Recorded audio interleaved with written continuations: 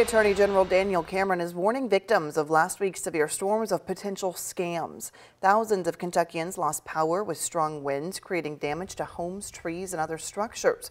Well, after severe weather, scammers will try to prey on those with damage, going door to door. The Attorney General's office sat down with us today to talk about what you should watch out for.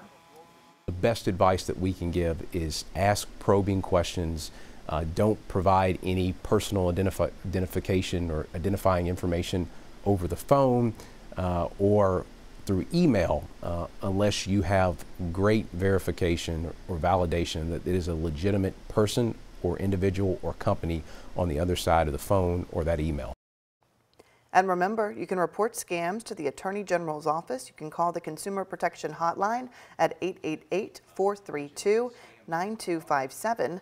Attorney General Cameron says they saw more than 2,000 reports of scams last year, which caused more than $31 million in losses.